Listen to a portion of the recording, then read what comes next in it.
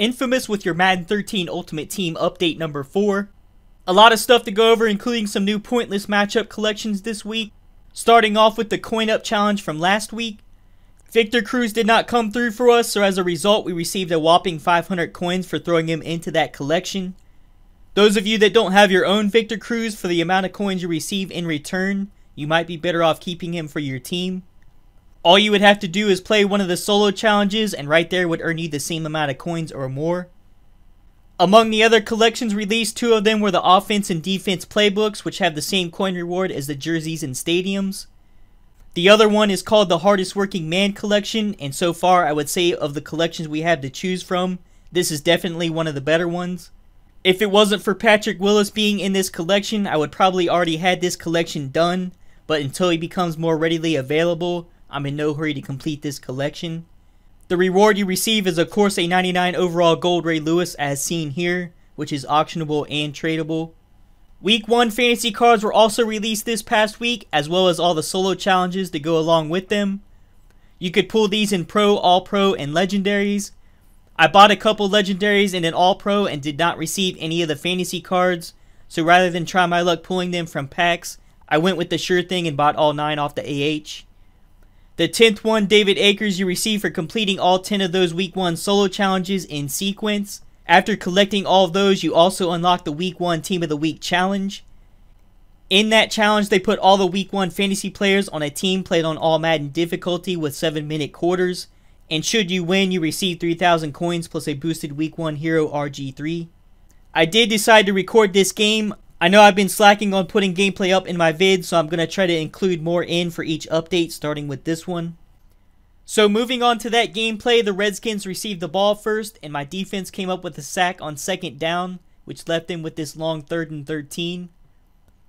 RG3 steps back and throws a quick pass to Morgan, however Woodson right there with him shoves him out of bounds, forcing them to punt. Very first play of the drive, I hit Michael Irvin towards the sideline, Redskins safety Tanard Jackson misjumps the pass, and Irvin would go on to take it all the way to the house for the first touchdown of the game. So early on, I take a seven point lead. After forcing the Redskins with another three and out, I was faced with a third and 11. I see DeSean Jackson open running towards the end zone, however, he could not hold on to the ball. This left fantasy David Akers with a 50 yard field goal attempt. The kick was up and good right down the middle and with that kick increased my lead to 10. So it's now about 3 minutes left in the second quarter. Redskins making a drive down the field. RG3 steps back and tries to hit Fred Davis toward the sideline. However, Deion Sanders was all over that play and picks this one off and returns this for a pick 6. So clearly not the same RG3 that I remember from week 1. My defense continues to shut them out in the first half. 50 seconds left before the half. The Redskins now in field goal range, third and two. RG3 tries to hit Aldrick Robinson in the back of the end zone, but denied by primetime. That would force them to settle for the field goal. Akers makes this one no problem, so the Redskins finally getting on the board with three. In the third quarter now, trying to kill as much clock as possible with these seven minute quarters, I finally make my first mistake. Walter Payton gets hit and loses the ball. Redskins recover with good field position. Third and 15, trying to force the Redskins to another three and out. RG3 finds Josh Morgan wide open across the middle.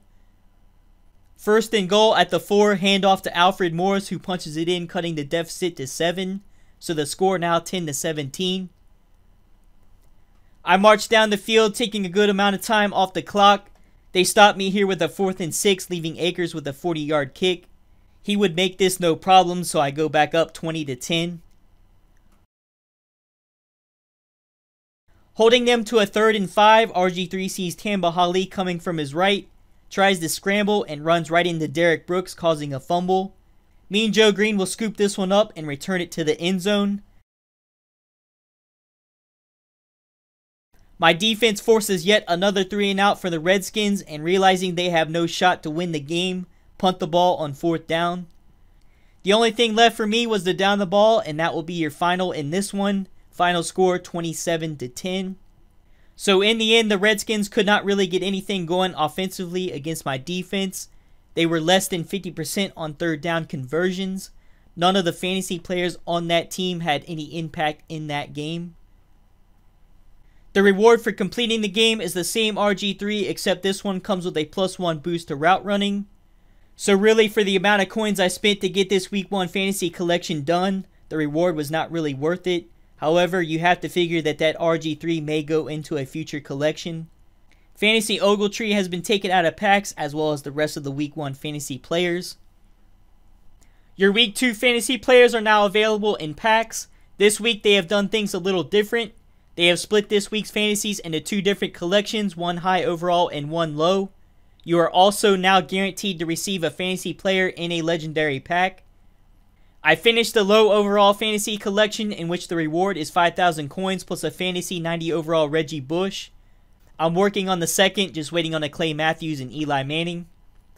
DeMeco Ryans you receive for completing this week's fantasy solo challenges and the reward for completing the Week 2's Team of the Week challenge is a boosted Eli Manning.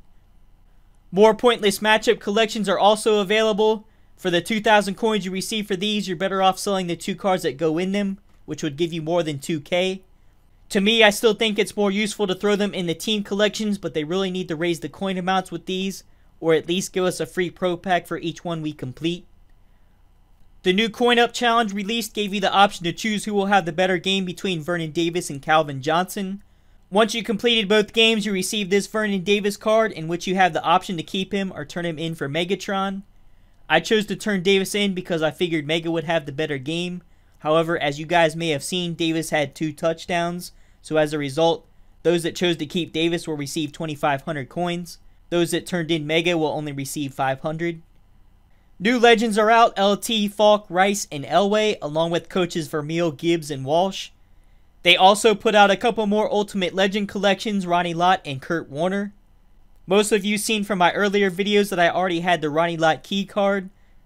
I pulled the 99 from a pack last week, so the only card I needed for that collection was the Bill Walsh card you received for completing the new legendary West Coast Offense Solo Challenge. I do have highlights from this game, this play was right before the half. Alex Smith throws a Hail Mary pass to the end zone to try to take the lead.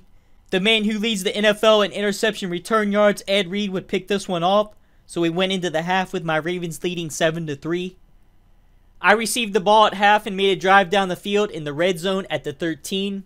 Here was faced with a third and 10, dropped back and didn't really see anyone open in the end zone, so rather than risk the interception, took off running out of bounds settled for the field goal, so the score was now 10 to 3. Played this game more conservative than normal and tried not to give up any big plays. 49ers started driving down the field with a quick pass to Vernon Davis. Here on second and six, Alex Smith goes play action and lobs a pass to Michael Crabtree. Neither one of my defenders could bring him down or push him out of bounds. He keeps his balance and dives into the end zone, so the game was now tied at 10. With three minutes left trying to kill clock, I find Shannon Sharpe across the middle for a first down, already putting me in field goal range.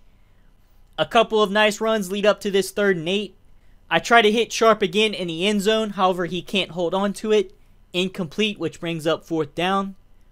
Leaving the rest of the game up to my defense to finish the game, I send old man Blanda out for the field goal. The kick is good, so now my lead is only three. 49ers making moves down the field, go no huddle with 40 seconds and two timeouts left. Alex Smith sees Vernon Davis crossing the middle of the field, lobs it to him, and he makes his way into field goal range, stopped at the 24. They use one of their remaining timeouts and stop the clock with 24 seconds. Alex Smith changes the play up, steps back, and throws to his fullback Bruce Miller. That play only good for a few yards. They hurry up back to the line, and the clock continues to run. They let it go down to 5 seconds, then burn their last time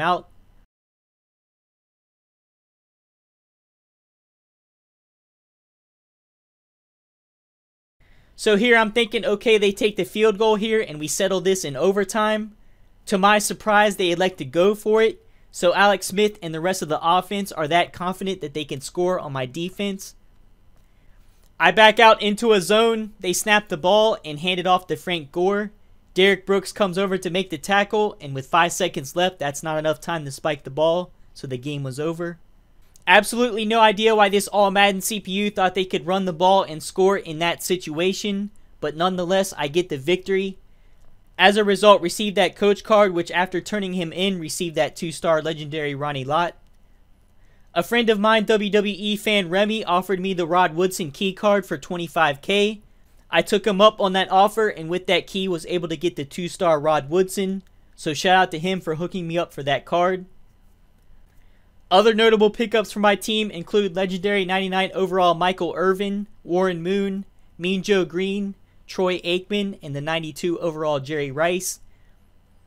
I did manage to finish my first team collection, that being the Cardinals. I received a key pack for that collection and now have three. I'm going to save those for when more Ultimate Legend collections become available.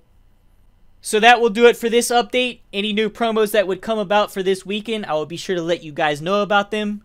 This is Infamous, and I'm out. Peace.